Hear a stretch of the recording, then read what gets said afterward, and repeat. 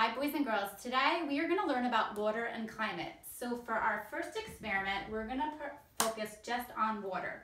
And water is a liquid earth material that's made of hydrogen and oxygen.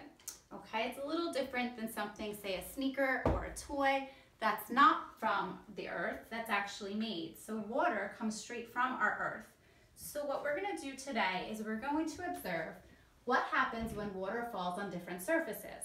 And the surfaces that we're going to use are a piece of paper, aluminum foil, paper towel, and wax paper. So we're gonna take our eyedropper and we're gonna squeeze the bulb and take the water out from the cup and observe what happens when we drop it on the surface of paper.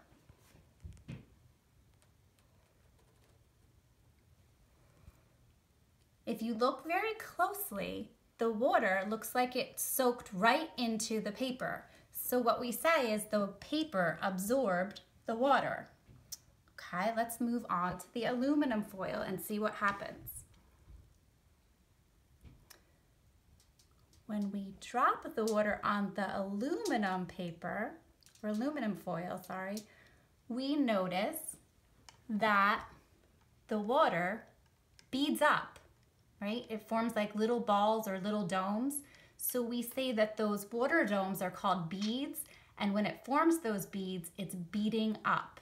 So it's not going through the aluminum foil, it's actually sitting right on top in little tiny balls or beads.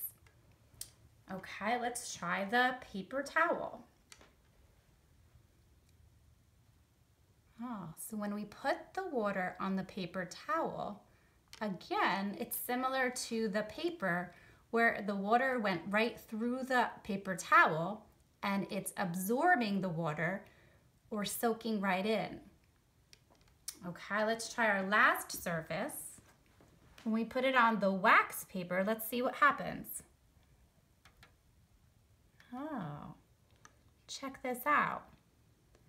And you should see, again, we're creating beads or little dome-shaped drops of water that sit right on top of the wax paper and they don't go through.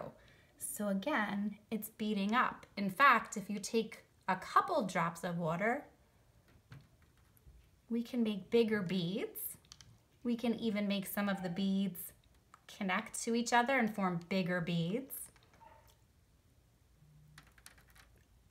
Okay, so we just observed the four surfaces that we dropped water on and what happened with each one. So now your job is to observe each one individually and start to look for patterns and write in your observations what you noticed.